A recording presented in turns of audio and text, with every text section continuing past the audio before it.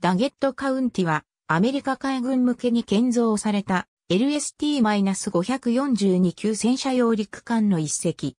艦名はユタ州ダゲット軍にちなみ、現在までにこの名を与えられた唯一の米軍艦である。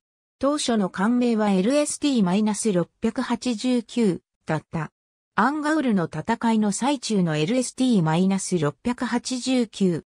奥にいるのは、艦砲射撃中の戦艦テネシー、従順ミネアポリス。1944年1月11日、インディアナ州ジェファーソンビルのジェファーソンビル、船舶機械車にて寄港され、1944年3月9日には、エディス・シー・スミス夫人をスポンサーに迎えて、浸水式が行われた。1944年5月2日、FD マッケイ予備役海軍中尉を艦長に迎えて、収益する。その後は、アジア、太平洋戦線に派遣された。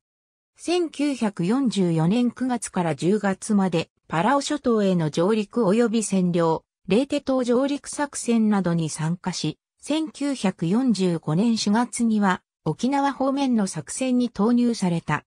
1945年11月26日に退役し、12月5日に米海軍艦石母からその名が削除された。1946年6月25日、ワシントン州シアトルの北極圏探査車に売却される。1955年7月1日、ダゲットカウンティとして再収益する。1959年10月1日除籍。1961年、日本に供与され海上自衛隊のオスミ型輸送艦をオスミとして収益。1975年、アメリカへ返還された後に、フィリピンへ再供与され、フィリピン海軍の輸送艦ラバオーリエンタルとして収益。除籍後、スクラップとして売却された。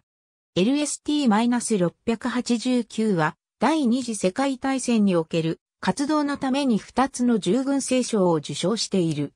ありがとうございます。